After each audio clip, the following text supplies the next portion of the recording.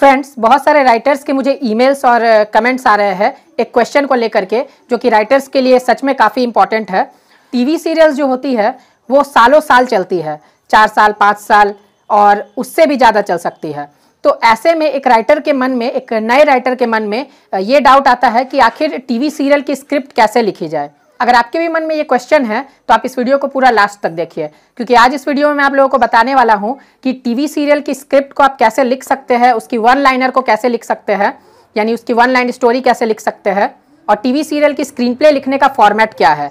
तो चलिए शुरू करते हैं आज का वीडियो हाय फ्रेंड्स मैं हूँ आकाश रजक और आप देख रहे हैं R S film productions friends हमारे चैनल पर फ़िल्म मेकिंग से रिलेटेड और भी बहुत सारे वीडियोस अवेलेबल है। आप उन वीडियोस को देख करके अपनी नॉलेज को बढ़ा सकते हैं और हमारे आने वाले वीडियोस को देखने के लिए आप हमारे चैनल को ज़रूर से ज़रूर सब्सक्राइब कर ले और बेल आइकन को दबाकर ऑल पे सेलेक्ट कर ले, ताकि हमारी वीडियो की सभी अपडेट्स आपको रेगुलर मिलती रहे।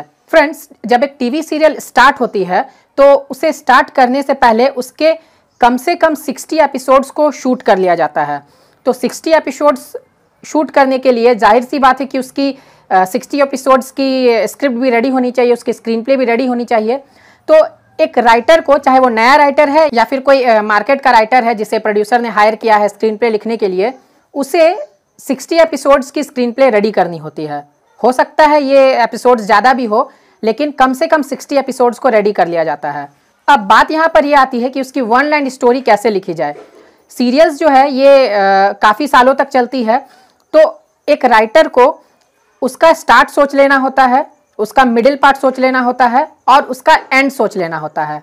तो लगभग 60 से 80 एपिसोड्स के बीच में उसका स्टार्टिंग से लेकर एंड तक का जो पार्ट एक राइटर ने सोचा है, उसे कवर कर लिया जाता है और उसके बाद बाद में स्टोरी को आगे कैसे बढ़ाना है, वो फिर इन एपिसोड्स को शूट करने के बाद जब ये एपिसोड्स टेलीकास्ट होते रहते हैं, उसी समय सोचा जाता है और फिर उसे लिखा जाता है स्क्रिप्ट के रूप में।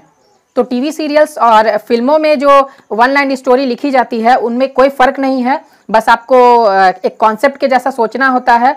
आपको उसका स्टार्टिंग सोचना होता है कि स्टोरी कैसे स्टार्ट हो रही है और उसमें क्या क्या टर्निंग पॉइंट से वो सोचना रहता है और उसके बाद उसका एंड क्या होगा, वो सोचना रहता है। तो इस तरीके से आप उसका वन लाइन स्टोरी तैयार कर सकते हैं। आपको ये ज़रूरी नहीं है कि आप चार साल या पाँच साल तक की स्टोरी सोच करके रखें। बस आपको इतना सोचना है कि वो 60 से 80 एपिसोड्स में वो स्टोरी का पार्ट जो है वो कवर हो जाए। फ्रेंड्स अगर आप एक नए राइटर है तो मैं आपसे कहूँगा कि कभी भी आप टीवी सीरियल्स की पूरी स्क्रीन प्ले को रेडी करके ना रखें, क्योंकि अगर आप पूरी स्क्रीन प्ले को रेडी करके जाएँगे तो आपको 60 से 80 एपिसोड्स लिखने पड़ेंगे। और अगर आप वो 60 टू 80 एपिसोड्स लिख लेते हैं तो होगा क्या कि बाद में अगर आपकी स्क्रिप्ट को किसी ने सेलेक्ट नहीं किया तो फिर आपका टाइम जो है वो टोटल वेस्ट हो जाएगा। तो इसीलिए आप ये गलती कभी भी ना करें कि आपने पूरे टीवी सीरियल की स्क्रीन प्ले लिख लिया है पूरे सिक्सटी टू एटी एपिसोड्स आपने लिख लिया है और उसके बाद आप प्रोड्यूसर के सर्च में हैं। अब बात करते हैं कि टीवी सीरियल में जो स्क्रिप्ट होती है उसकी स्क्रीन प्ले को कैसे लिखा जाए। तो यहाँ पर भी एक बात ये आती है कि जैसे फ़िल्मों की स्क्रीन प्ले होती है जो फ़िल्मों की कहानी है, उसकी स्क्रीन प्ले होती है, उसी तरह से टीवी सीरियल्स की भी स्क्रीन प्ले लिखी जाती है। उनमें कोई अंतर नहीं होता है। बस फ़र्क यह है कि इसमें एपिसोड्स के रूप में लिखना रहता है और फ़िल्म की स्क्रिप्ट को आप पूरा स्टार्ट टू एंड एक बार में उसका स्क्रीन प्ले लिख देते हैं। एपिसोडिक फॉर्म में भी अगर लिखना रहता है टीवी सीरियल की स्क्रिप्ट को तो भी एपिसोड डायरेक्टर्स जो होते हैं, वो अलग होते हैं कि एपिसोड जो वो कहाँ पर खत्म होगा और नेक्स्ट एपिसोड फिर कहाँ पर खत्म होगा। तो टीवी सीरियल्स के राइटर्स को भी बस स्टार्टिंग टू एंड उसका स्क्रीन प्ले लिखना होता है। अगर आप स्क्रीन प्ले लिखना नहीं जानते हैं तो इस पर मेरी एक सीरीज़ चल रही है। उस सीरीज़ को आप फॉलो करें। उस सीरीज़ का जो प्लेलिस्ट का लिंक है, वो अपने इस वीडियो के लास्ट में मैं दे दूँगा। तो उस पर आप क्लिक करके देख लीजिएगा। उन सारे वीडियोस को उससे आपको बहुत ही हेल्प मिल जाएगी स्क्रीन प्ले राइटिंग में। इस वीडियो में मैं आपको शॉर्ट में बता दे रहा हूँ कि स्क्रीन प्ले को कैसे लिखा जाता है। फ्रेंड्स आप जब भी स्क्रीन प्ले लिखना शुरू करते हैं तो आप फ़र्स्ट पेज को आधा खाली छोड़ दें। क्योंकि स्क्रिप्ट रजिस्ट्रेशन के दौरान जो ऑफिसर्स है, वो आधे पेज में लिखते हैं। आधा पेज खाली छोड़कर आप उसमें कहानी का नाम और फिर अपना नाम, यानी राइटर का नाम लिखें। सबसे पहले तो आप सीन नंबर लिखें। सीन नंबर के नीचे आप लोकेशन लिखें कि जगह कौन सी है। फिर डे टाइम है नाइट टाइम है, या फिर इवनिंग टाइम है, या फिर मॉर्निंग का समय है। तो ये सभी चीज़ें आपको लिखनी होंगी। जैसे इस सीन में लिखा हुआ है scene number one location Ankush house day time cut to outside the building यानी यहाँ पर बिल्डिंग के बाहर का शॉट दिखाया गया है। Cut to inside the building hall room यानी अब जो सीन आ गया, वो हॉल रूम का आ गया। अंकुश, नताशा और तानिया खड़े रहते हैं। तीनों बहुत ही परेशान रहते हैं। अंकुश फ़ोन पे बात करता रहता है। अब अंकुश का डायलॉग आ जाता है। अंकुश इंस्पेक्टर से बात कर रहा है फ़ोन पे।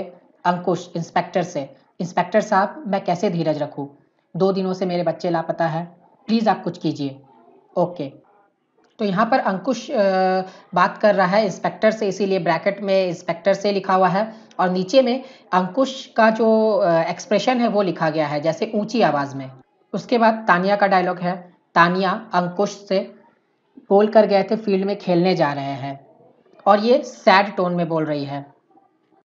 तो एक्सप्रेशन में वहाँ लिखा हुआ है सैड टोन में। इसके बाद नताशा का डायलॉग है, नताशा अंकुश से। अंकुश भैया, कहीं किसी ने नेहा और बिट्टू को किडनैप तो नहीं कर लिया?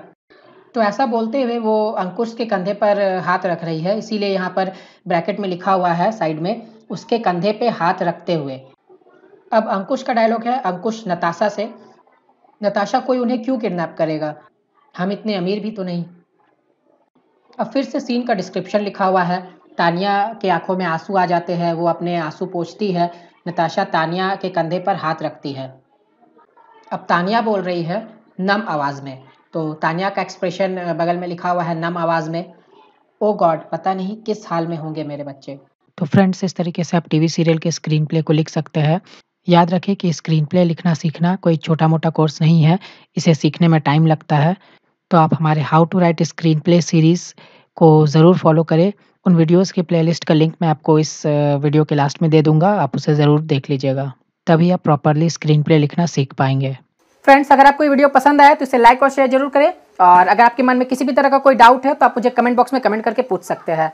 सो फ्रेंड्स फिर मिलते हैं हम लोग एक नए वीडियो के साथ जो फ़िल्म मेकिंग से रिलेटेड होगी। तब तक के लिए बाय बाय